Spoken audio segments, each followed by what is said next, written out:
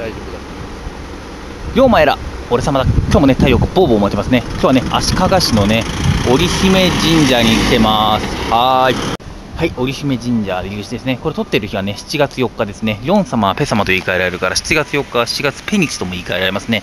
はい、地盤屋のですね。この歩道橋のね、部分も地盤屋のですね。はい、ね。織姫、彦星、ね。なんかあそこのね、綱、綱引きで使うような綱がね、ぶら下がってますね。そう、あれでもなんかかなり古そうな綱なんでね、切れちゃったらね、大便じゃなくて大変ですね。でもジバニャンの腹巻きはブチって切れてほしいですね。はい。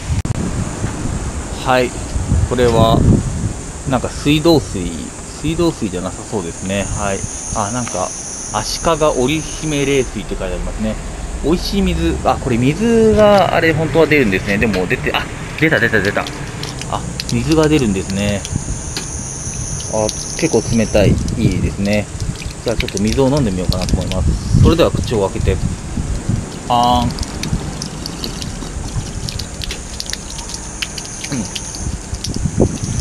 うん。うん。水の味がしますね。はい。国登録有形文化財だそうですね。はい。で、あとね、ここのね、三角コーンがジバニャン色ですね。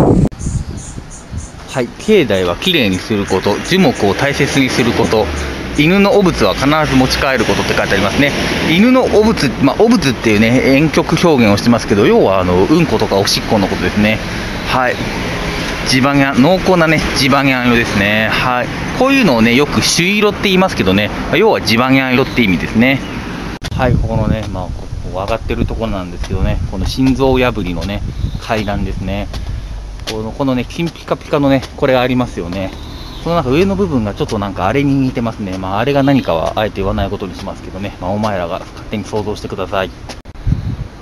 はい、イノシシ出没注意だそうです。イノシシ出没注意のね、文字が地盤にあるのですね。はい。えっ、と、結構きつい坂ですね。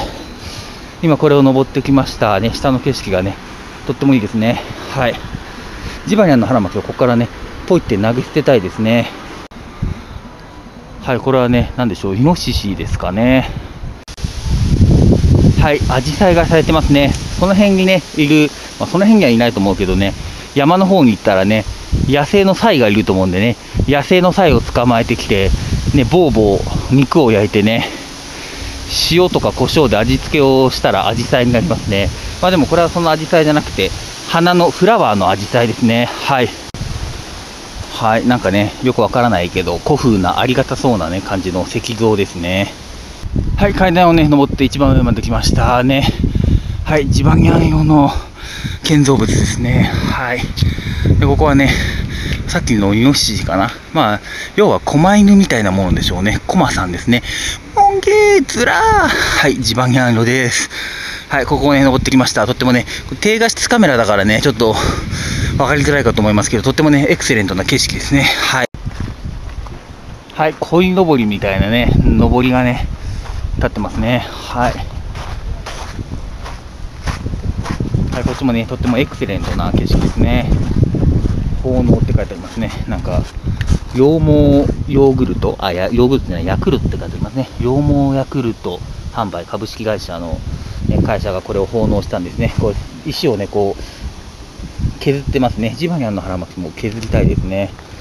はいね、とってもね、いい景色で、ね、家やビルが立ち並んでいますね。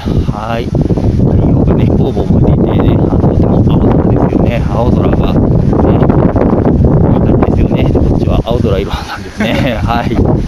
七夕もね、近いのでね、笹の葉がありますね。短冊もね、なんか飾ってありますね。はい、ということでね、今日はね、足利織姫神社でした。それではさようなら、ボーボー。ブーボーブーボーボー。ブーボーブーブーボーボーボー。ボーボー